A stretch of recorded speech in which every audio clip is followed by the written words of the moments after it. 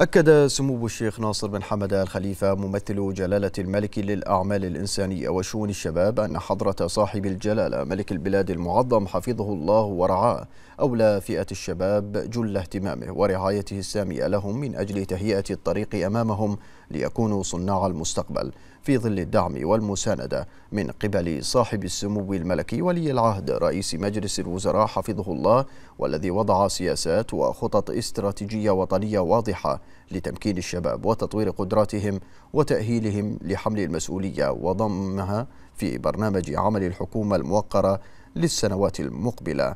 وقال سمو الشيخ ناصر بن حمد الخليفة في تصريح لسموه بمناسبة يوم الشباب الدولي الذي يركز هذا العام على مسارات الشباب الرقمية للتنمية المستدامة. إننا نؤمن بأن مستقبل المملكة بيد شبابنا. لذا فقد اختطت مملكة البحرين نهجا ثابتا لها نحو زراعة الأمل في نفوس الشباب البحرينية عبر العمل على تمكينهم وتنمية مهاراتهم الإبداعية وتعزيز مهاراتهم. وليس ثمة استثمار أفضل من مساعدة الشباب على تطوير قدراتهم والاستماع لهم والإنصات لأفكارهم. وأضاف سمو الشيخ ناصر بن حمد الخليفة إن يوم الشباب الدولي يشكل فرصة متميزة لتعزيز الإحاطة بالشباب البحريني ودور مهم في الحفاظ على سمعة المملكة وصورتها الناصعة وتعميق معرفتهم بالمسؤوليات الموكلة إليهم فهم مدعوون إلى تقديم رؤى جريئة وحلول مبتكرة باعتبارهم الطاقة والمحرك الرئيسي للابتكار وتحقيق التنمية المستدامة.